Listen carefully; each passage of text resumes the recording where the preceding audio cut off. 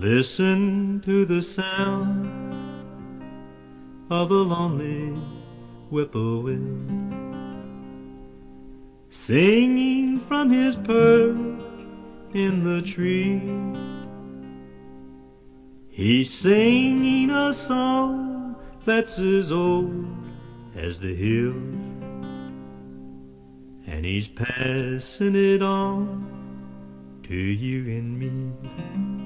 Whippoorwill, Whippoorwill, whippoorwill, whippoorwill, are you calling to your love? Whippoorwill, whippoorwill, sing your song of love.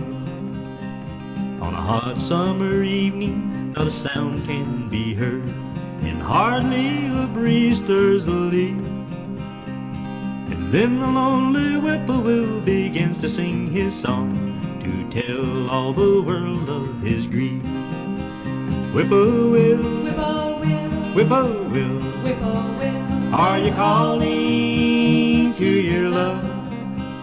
Whippoorwill, whippoorwill, sing your song of love. As the evening passes on, the shadows grow long. A cold mountain chill fills the air. The whippoorwill still calls from afar up the hill, erasing a day's worth of care.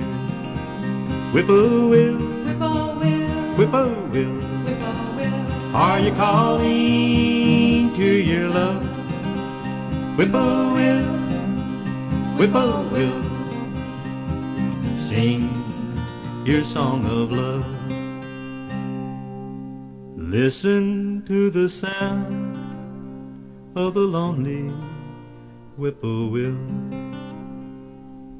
singing from his perch in the tree.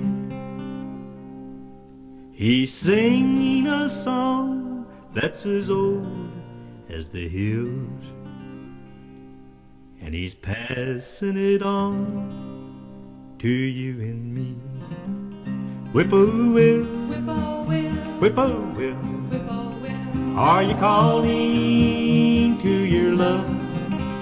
Whippoorwill, whippoorwill, sing your song of love.